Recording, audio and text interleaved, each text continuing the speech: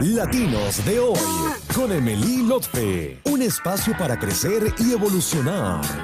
En el Tenampa Restaurant les ofrecemos deliciosas fajitas. También tenemos el sabroso y original molcajete, pescado zarandeado y mojarra frita, tacos de carne al carbón, pupusas y sus refrescantes michebotas. Espero que todos ustedes allá se encuentren muy bien y hoy vamos a hablar de un tema que es sumamente, para mi punto de vista, interesante. Fíjate que desde la psicología hay una rama que bueno, no lleva muchos años, pero es la psicología de la migración.